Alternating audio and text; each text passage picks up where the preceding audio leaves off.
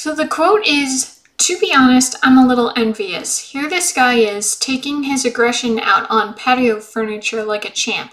He's obviously had a shitty day, as have I, but whereas I keep my aggression pent up until it manifests in the form of passive aggressiveness, this guy actually has an outlet.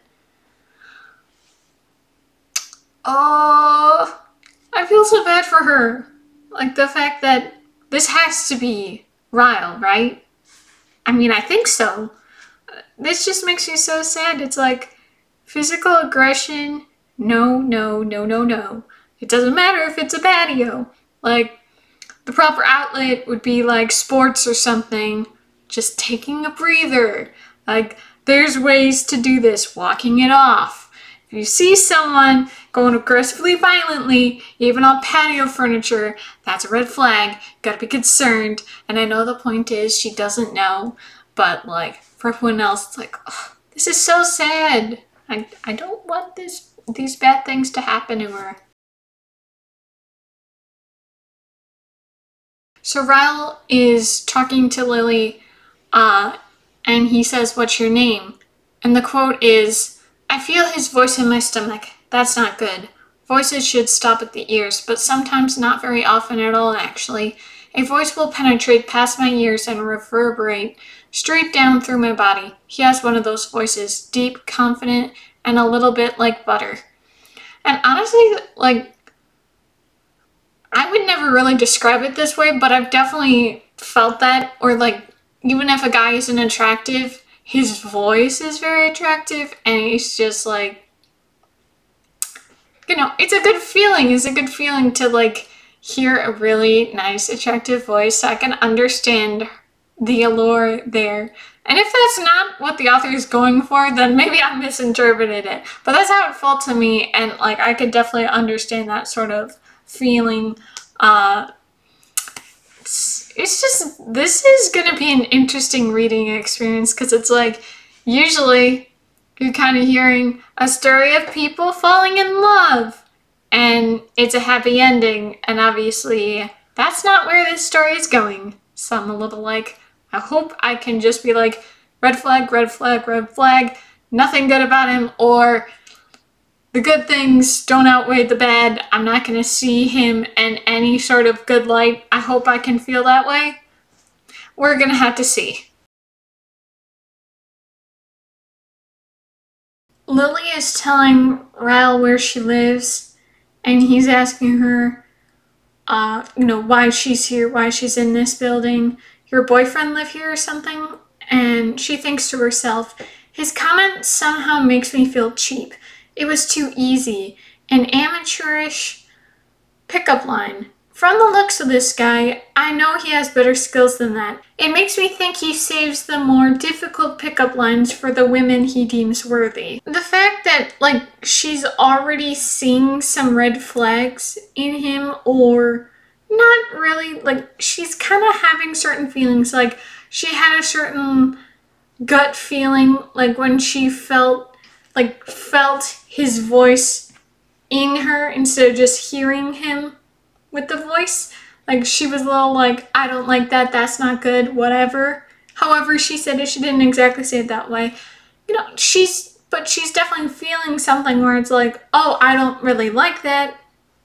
And that's, you know, that's kind of like your gut telling you, don't do this. Uh, and the fact that, you know, she's kind of feeling like this pickup line for him you know, it's kind of like, I'm supposed to be impressed by that? No, thank you. So, you know, the fact that I know that they are going to get together and a lot of bad things happen, it's rough because it's like, you know, she's already showing in her head that she's like, mm, I don't know about this guy. So it's like, man, the important thing is though that she gets out in the end. she's just explaining why she's there. And the quote is He regards me with a smile. At least you're economical, he says. That's a good quality to have. At least? I nod because I am economical, and it is a good quality to have. And like, I think this is one of those things that some of more the feminist types or more people that are more like identify the red flags and don't just, you know, ignore it, don't brush it off just because it may be considered small.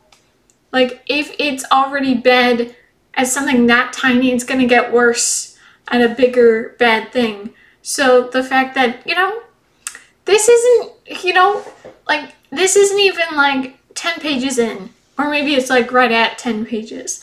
Like, she's already seeing multiple things that are a little mm, questionable about this guy, and she's kind of like, she's kind of seeing that. She's kind of like, hmm, I don't know about this guy. But then it's like, it could also be a good thing. So she's kind of more following the route of what a lot of these people that kind of get stuck in this mess. Of course, no victim blaming here.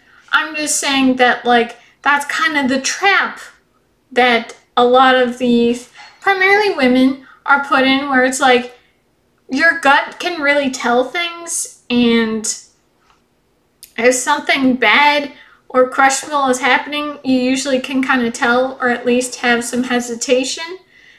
But then society kind of conditions us to be like, oh, that's not a big deal. Don't worry about it. You know, you can, you know, oh, if you if you get if you can't get past this, then you're never gonna find someone. And it's like, what, dude? So it's you know clearly she's kind of seeing it. Part of her, you know, her intuition is definitely there, but it's more societal conditioning as kind of having her more like, oh, I can accept this you know, I'm making more of a deal, a bigger deal out of it than it needs to be. And it's like, no, this is when you say no. And you go and you get out of there. But again, you know, societal, social conditioning and everything. Course, no victim blaming. I'm just making the point that it's like, it's really sad because it's like so many things that she herself is seeing. It's not just we, the audience, see. No, she's seeing it herself. So it's like, Man.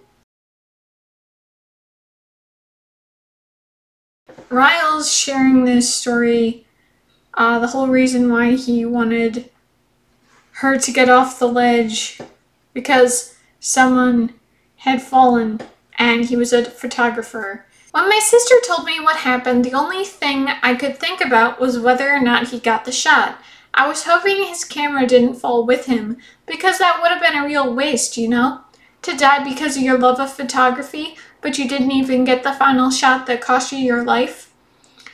Like, how many mentally stable people, that's like the first thing they think of? No, it's like, oh my gosh, that's awful.